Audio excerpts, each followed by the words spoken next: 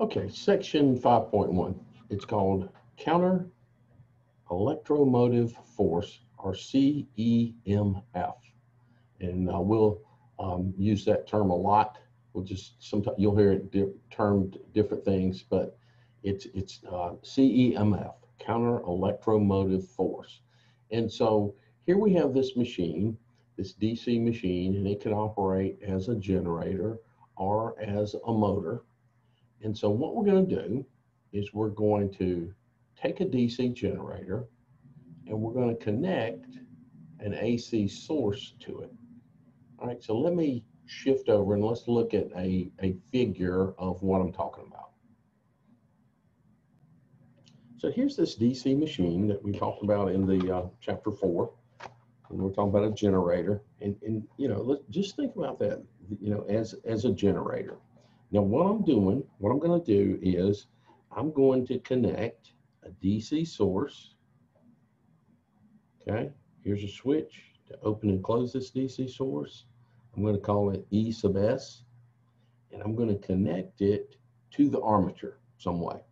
Okay, so what we're doing is we've we've we've taken this DC machine and we've connected a DC source to the armature.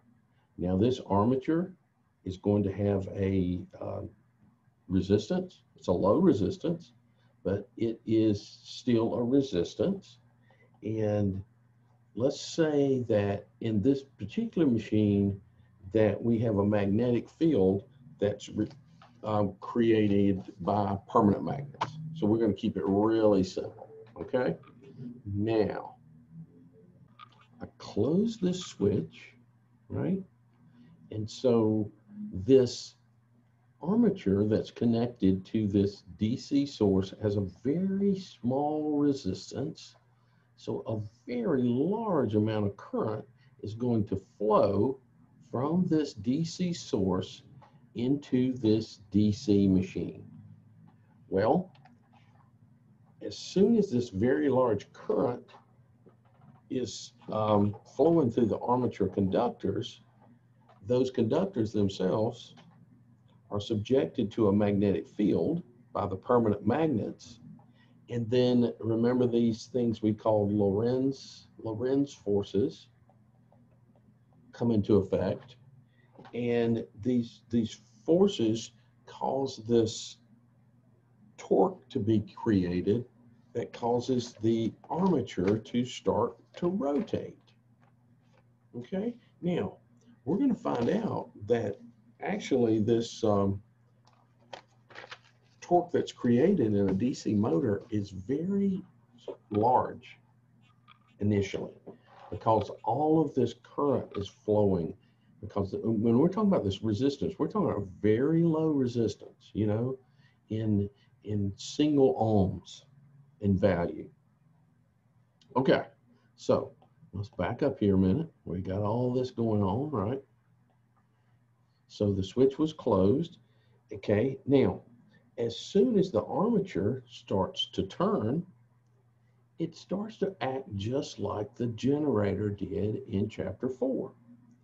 Okay, so if we have this armature, these armature conductors, and they are turning through a magnetic field, there's going to be a voltage induced on the armature conductors as they cut the magnetic field. Now, this happens regardless of what causes the thing to turn. Now, we, uh, when we were talking about generators, you know, we were turning the generator somehow earlier. But in this case, you know, the rotation begins because of this action of closing the switch, current flowing, large currents flowing through armature conductors subjected to a magnetic field, anyway, the armature rotates. Now, the value and the polarity of the induced voltage are exactly the same as they would have been when the machine is operating as a generator. And so this induced voltage is proportional to all the components that we looked at in chapter four equation 4, 1. where it says this induced voltage, I can do better than that. Here we go. E sub O. This voltage that's induced is equal to the Z, which is the total number of conductors, the N, which is the speed, and this is the um, amount of flux that we talk about. So it's just, you know, flux per pole, and then we divide by 60. So the same thing that was happening in chapter four is now happening here.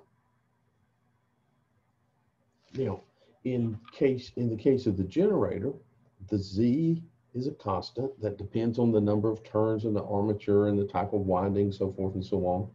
And then, you know, we went through a lot of trouble to uh, figure out how to calculate that Z number.